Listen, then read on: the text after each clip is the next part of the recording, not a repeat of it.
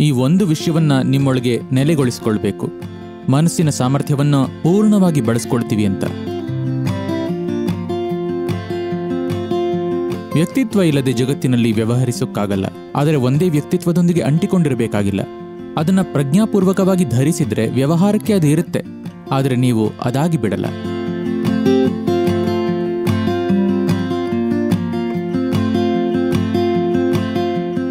ಇವತ್ತು ಎಲ್ಲ ಕಡೆ ಮಾಹಿತಿ ಲಭ್ಯವಿದೆ. ಒಂದು ಸೆಕೆಂಡ್ನಲ್ಲಿ ಬೇಕಾದ ಮಾಹಿತಿ ಸಿಗುತ್ತೆ. ಮಾಹಿತಿಯಲ್ಲಿ ಮುಳುಗು ಹೋಗಿದ್ದೀವಿ. ಇದರಲ್ಲಿ ನಮ್ಮ ವ್ಯಕ್ತಿತ್ವವನ್ನು ರೂಪಿಸಿಕೊಳ್ಳೋದಾದ್ರೂ ಹೇಗೆ? ಮತ್ತೆ ನಮ್ಮ ಪ್ರತ್ಯೇಕ ವ್ಯಕ್ತಿತ್ವವನ್ನು ಉಳಿಸ್ಕೊಳ್ಳೋದು ಹೇಗೆ? ಬದಲಾವಣೆಗೆ ಒಗ್ಗಿಕೊಳ್ಳೋ ಸಮಯ ಮತ್ತೆ ಬದಲಾವಣೆಗಳ ನಡುವೆ ಸಮತೋಲನ ಅನ್ನೋದು ಇದೆಯಾ? ಅದನ್ನ ಹೇಗೆ ಮಾಡೋದು? ನೋಡಿ, ನೀವು ಪ್ರತ್ಯೇಕ ವ್ಯಕ್ತಿತ್ವ ಅಂದಾಗ ಪರ್ಸನಾಲಿಟಿ ಅನ್ನೋ ಪದ ಪರ್ಸೋನಾ ಅನ್ನೋ ಮೂಲ ಪದದಿಂದ ಬಂದಿದೆ. Persona means a mask that you wear persona ಅಂದ್ರೆ ನೀವು ಧರಿಸೋ ಪಾತ್ರದ ಮುಖವಾಡ. ಒಂದೊಂದು ರೀತಿಯ ಕಾರ್ಯ ನಿರ್ವಹಿಸೋದಕ್ಕೆ ಒಂದೊಂದು ರೀತಿಯ ಪಾತ್ರ ವಹಿಸಬೇಕಾಗುತ್ತೆ. ನೀವೊಬ್ಬ ಕ್ರೀಡಾಪಟು. ನೀವು ಕ್ರೀಡಾಂಗಣದಲ್ಲಿದ್ದಾಗ ನಿಮಗೆ ಒಂದು ರೀತಿಯ ಮುಖವಾಡ ಇರುತ್ತೆ ಅದು ಅಗತ್ಯ. ಅಲ್ಲಿ ಆವೇಶ ಇರಬೇಕಾಗುತ್ತೆ. ಅಗತ್ಯ ಬಿದ್ದರೆ ಎದುರಾಳಿಯಲ್ಲಿ ಭಯ ಹುಟ್ಟಿಸಬೇಕಾಗುತ್ತೆ ಇತ್ಯಾದಿ. ಆ ಥರದ ಮುಖವಾಡ ಧರಿಸಬೇಕಾಗುತ್ತೆ. ಆ ಮುಖವಾಡವನ್ನು ಮನೆಯಲ್ಲಿ ಧರಿಸಲ್ಲ. ಅದನ್ನು ನಿಮ್ಮ ಗೆಳೆಯರ ಜೊತೆ ಧರಿಸಲ್ಲ. ಮುಖವಾಡ ಅಂದರೆ ಅದನ್ನು ಬೇಕಾದಾಗ ಧರಿಸಿ ಕಳಚೋ ಸಾಮರ್ಥ್ಯ ಇರಬೇಕು. ಈಗ ಎಲ್ಲರೂ ಮಾಸ್ಕ್ ಹಾಕ್ತಾರೆ ಅಲ್ಲಿ ಆಯ್ಕೆ ಇಲ್ಲ. ಅದು ಬೇರೆ ತರಹದ ಮಾಸ್ಕ್. ಮಾಸ್ಕ್. ಆದರೆ ಪರ್ಸನಾಲಿಟಿ ಅಂದರೆ ಅದೇ. ಬೇರೆ ಬೇರೆ ತರಹ ಚಟುವಟಿಕೆಗಳಿಗೆ ನಮ್ಮನ್ನು ನಾವು ಒಂದು ರೀತಿಯಲ್ಲಿ ರೂಪಿಸಿಕೊಳ್ಳಬೇಕು. ಆದರೆ ಕಾಲಾಂತರದಲ್ಲಿ ಏನಾಗುತ್ತೆ ಅಂದರೆ ಜನರಿಗೆ ಮೂವತ್ತು ಮೂವತ್ತೈದು ಆಗುವಷ್ಟರಲ್ಲಿ ಒಂದು ಮುಖವಾಡದಲ್ಲಿ ಸಿಕ್ಕಾಕೊಂಡಿರ್ತಾರೆ. ಅದನ್ನು ತೆಗೆಯೋಕ್ಕಾಗುತ್ತಿಲ್ಲ ಎಲ್ಲ ಕಡೆ ಹಾಗೆ ಇರ್ತಾರೆ. ಈಗದು ತೊಳಲಾಟ ಆಗುತ್ತೆ. ಮಕ್ಕಳು ಮತ್ತು ವಯಸ್ಕರನ್ನು ನೋಡಿದರೆ, ಈಗ ಅವರ ವಯಸ್ಸು ಏನೇ ಆಗಿರಲಿ, ಅವರಿಗೆ ಐದಾರು ವರ್ಷ ಆಗಿದ್ದಾಗ ಅವರ ಮುಖ ಹೀಗಿತ್ತು, ಯಾವಾಗಲೂ ಮುಗುಳ್ನಗುತ್ತಾ ಇರ್ತಿದ್ರು. ಅದನ್ನ ನಿಲ್ಲಿಸೋದಿಕ್ಕೆ ಆಗ್ತಿರಲಿಲ್ಲ. ಆದರೆ ನಿಧಾನವಾಗಿ ಅದು ಜೋತು ಬಿದ್ದು ಗಂಭೀರವಾಗಿದೆ. ಏಕೆಂದರೆ ತಮ್ಮದೇ ವ್ಯಕ್ತಿತ್ವದಲ್ಲಿ ಸಿಕ್ಕಿಬಿದ್ದಿದ್ದಾರೆ. ಧರಿಸಿದ ಮುಖವಾಡವನ್ನು ಬೆಚ್ಚೋಕ್ಕಾಗ್ತಿಲ್ಲ ಯಾವಾಗಲೂ ಅಂಟಿಕೊಂಡಿದ್ದಾರೆ. ಹಾಗಾಗಿ ನಮ್ಮ ವ್ಯಕ್ತಿತ್ವವನ್ನು ಹೆಪ್ಪುಗಟ್ಟಿಸಬೇಕಿಲ್ಲ. ನಮ್ಮ ವ್ಯಕ್ತಿತ್ವವನ್ನು ಫ್ಲೆಕ್ಸಿಬಲ್ ಆಗಿ ಇಟ್ಕೊಳ್ಳೋದು ಬಹಳ ಮುಖ್ಯ. ಬೇರೆ ಬೇರೆ ಚಟುವಟಿಕೆಗೆ ತಕ್ಕಂತೆ ಬೇರೆ ಬೇರೆ ಪಾತ್ರ ಧರಿಸೋಕ್ಕಾಗಬೇಕು. ಪಾತ್ರ ಧರಿಸದೆ ಕೆಲಸ ಮಾಡೋಕ್ಕಾಗಲ್ಲ. ವ್ಯಕ್ತಿತ್ವ ಇಲ್ಲದೆ ಜಗತ್ತಿನಲ್ಲಿ ವ್ಯವಹರಿಸೋಕ್ಕಾಗಲ್ಲ. ಅದು ಖಂಡಿತ. ಆದರೆ ಒಂದು ಮುಖವಾಡದಲ್ಲೇ ಸಿಕ್ಕಿಕೊಳ್ಳಬೇಕಿಲ್ಲ. ನೀವು ಬೇರೆ ಬೇರೆ ವ್ಯಕ್ತಿಯಾಗಬಹುದು. ಸನ್ನಿವೇಶಕ್ಕೆ ತಕ್ಕಂತೆ ವ್ಯಕ್ತಿತ್ವ ಬದಲಾಗಬಹುದು. ಆಗಲೇ ನೀವು ಪೂರ್ತಿ ಅಭಿವ್ಯಕ್ತಿ ಪಡೆಯೋದು ಇಲ್ಲ ಅಂದರೆ ನೀವೇ ನಿರ್ಮಿಸಿದ ರಚನೆಯೊಳಗೆ ಸಿಕ್ಕಾಕೋತೀರಿ. ನೀವೇ ನಿರ್ಮಿಸಿದ ಪಂಜರದಲ್ಲಿ ಸಿಕ್ಕಿಬೀಳ್ತೀರಿ ಬೇರೆಯವರು ನಿಮ್ಮನ್ನು ಬಂಧಿಸಿದರೆ ಅದು ದುರದೃಷ್ಟ, ಆದರೆ ಅರ್ಥ ಮಾಡ್ಕೋಬಹುದು. ಆದರೆ ನೀವೇ ನಿಮ್ಮನ್ನು ಬಂಧಿಸ್ಕೊಂಡ್ರೆ ಅದಕ್ಕಿಂತ ದೊಡ್ಡ ಮೂರ್ಖತನ ಇಲ್ಲ. ಆದರೆ ತೊಂಬತ್ತು ಪ್ರತಿಶತ ಮಾನವತೆಗೆ ಹೆಚ್ಚಾಗಿ ಆಗ್ತಿರೋದು ಅದೇ. ಆದ್ರೆ ಸರ್ ಮುಖವಾಡದ ಬಗ್ಗೆ ಹೇಳಬೇಕಾದ್ರೆ ಅದು ಕೇವಲ ನಮ್ಮ ಬಗ್ಗೆ ಅಲ್ಲ ಅನಿಸುತ್ತೆ. ಹೌದು, ನಮಗೆ ಸಂತೋಷವಾಗಿರಬೇಕು. ಮುಖವಾಡ ಕಳಚಿ ಸಂತೋಷವಾಗಿರಬೇಕು. ಆದರೆ, ಅದು ನೀವು ವ್ಯವಹರಿಸ್ತಿರೋ ಇನ್ನೊಬ್ಬ ವ್ಯಕ್ತಿಯನ್ನು ಅವಲಂಬಿಸಿದೆ. ಆ ಸಮಯದಲ್ಲಿ ನಿಮ್ಮ ಮಾಸ್ಕ್ ಮತ್ತೆ ಬಂದಿರುತ್ತೆ. ಅದಕ್ಕೇನು ಮಾಡೋದು? ಉದಾಹರಣೆಗೆ ಒಬ್ಬರ ಹತ್ರ ಮಾತಾಡ್ತಿದ್ದೀರಿ, ನಿಮಗವರು ಇಷ್ಟ ಇಲ್ಲ, ಆದರೆ ಅವರಿಗೆ ಪ್ರತಿಕ್ರಿಯಿಸಬೇಕು. ಆಗ ನೀವು ಸರಿ ಅವರು ಹೀಗಂದ್ರು. ಈಗ ನಾನು ಒಳ್ಳೆಯದಾಗಿ ಕಾಣೋ ಥರ ಏನಾದರೂ ಹೇಳಬೇಕು. ಅಂದ್ಕೋತೀರಿ. ಆ ಪ್ರತಿಕ್ರಿಯೆ ಹೇಗಿರಬೇಕು? ಯಾಕಂದ್ರೆ ಬಹಳ ಸಲ ಇದಾಗತ್ತೆ. ಪ್ರತಿಯೊಬ್ಬರಿಗೂ ಆಗತ್ತೆ ಅನ್ಸುತ್ತೆ. ಹೇಳಿ ಹೇಳಿ. ಆ ಹುಡುಗ ಯಾರು? ಇಲ್ಲ ಇಲ್ಲ ಇಲ್ಲ.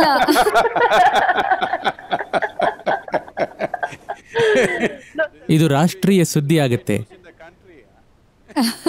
ಇಲ್ಲ ಇಲ್ಲ ಇಲ್ಲ ಇಲ್ಲ. ಅದು ನಾನು ಏನ್ ಹೇಳಿದ್ದಂದ್ರೆ ಬಹಳ ಜನರು ಉದಾಹರಣೆಗೆ ಗೆಳೆಯರ ಹತ್ರ ಮಾತಾಡ್ತಿದ್ದಾಗ ಕೆಲವೊಮ್ಮೆ ಅವರ ಮೇಲೆ ಕೋಪ ಇರಬಹುದು ಅವ್ರು ಮಾಡ್ತಿರೋದು ಇಷ್ಟ ಆಗದೆ ಇರಬಹುದು ನಿಮ್ ಬೆಸ್ಟ್ ಫ್ರೆಂಡ್ ಏನೋ ಮಾಡಿರಬಹುದು. ನಿಮಗದು ಇಷ್ಟ ಆಗಲ್ಲ ಆದ್ರೆ ನೀವು ಪರವಾಗಿಲ್ಲ ಅಂತೀರಿ. ಮುಖಕ್ಕೆ ಹೊಡೆದ ಹಾಗೆ ಇದು ಸರಿ ಇಲ್ಲ ಹಾಗೆ ಮಾಡಬೇಡ ಅನ್ನಕ್ಕಾಗಲ್ಲ ಅವ್ರಿಗೆ ಬೇಜಾರಾಗಬಹುದು ಅದನ್ನ ಕೇಳಿದೆ. ನಾನು ಹೆಚ್ಚಾಗಿ ಮುಖಕ್ಕೆ ಹೊಡೆದ ಹಾಗೆ ಹೇಳ್ತಿರ್ತೀನಿ. ಯಾಕಂದ್ರೆ ಸರ್, ಕೆಲವು ಸಲ ನನಗೆ ಅನುಭವ ಆಗಿದೆ. ಸ್ನೇಹಿತರ ಜೊತೆ ಮಾತಾಡುವಾಗ ಅವರ ತಪ್ಪಿದೆ ಅಂತ ನಿಮಗೆ ಅನ್ನಿಸ್ಬಹುದು. ಆದರೆ ಹೇಳೋದಕ್ಕೆ ಹಿಂಜರಿತೀರಿ.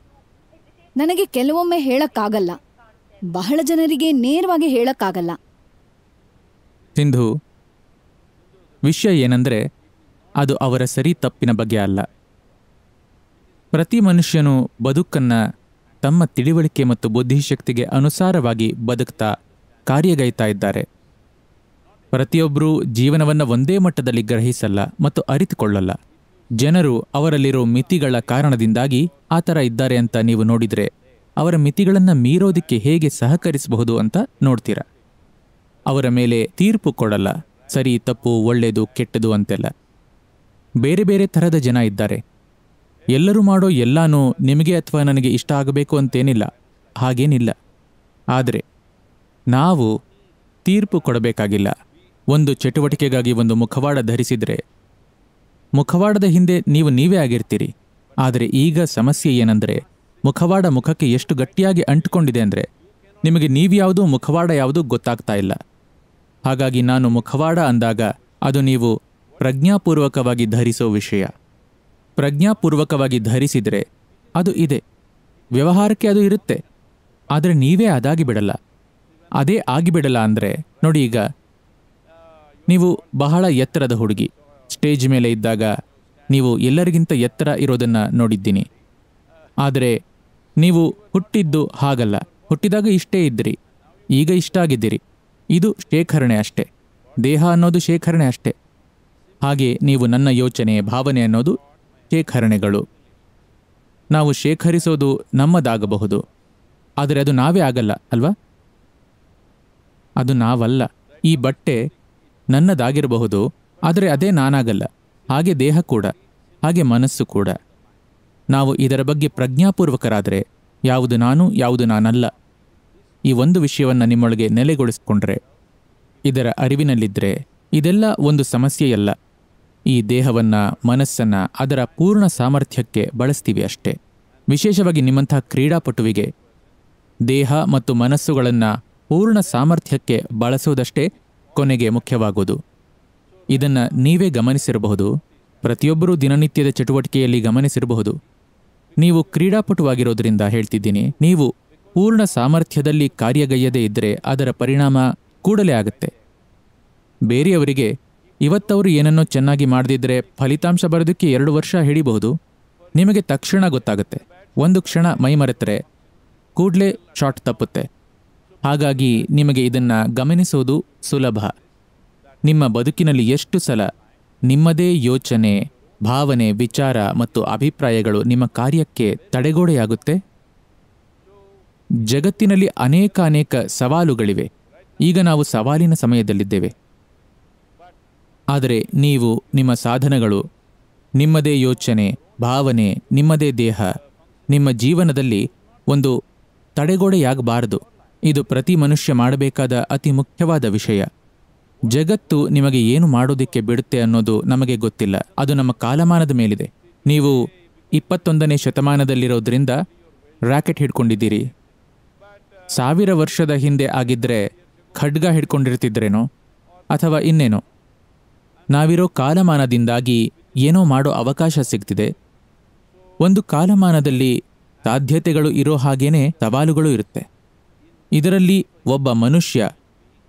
ತನ್ನದೇ ದೇಹ, ತನ್ನದೇ ಮನಸ್ಸು, ತನ್ನದೇ ಭಾವನೆ ಮತ್ತು ತನ್ನದೇ ಪ್ರಾಣಶಕ್ತಿಯನ್ನು ಒಂದು ಸವಾಲಾಗಿಸಿಕೊಳ್ಳಬಾರದು.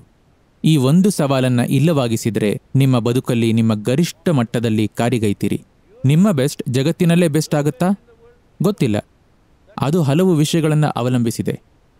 ಆದರೆ ನಾನು ಜಗತ್ತಿನಲ್ಲಿ ಬೆಸ್ಟಾ ಅಲ್ವಾ ಅನ್ನೋದು ಮುಖ್ಯ ಅಲ್ಲ. ನೀವು ನಿಮ್ಮ ಬೆಸ್ಟ್ ಮಟ್ಟದಲ್ಲಿರಬೇಕು. ನೀವು ಯಾವತ್ತೂ ನಿಮಗೆ ತೊಡಕಾಗಬಾರ್ದು. ಜಗತ್ತಿನಲ್ಲಿರೋ ತೊಡಕುಗಳನ್ನು ದಾಟೋಣ.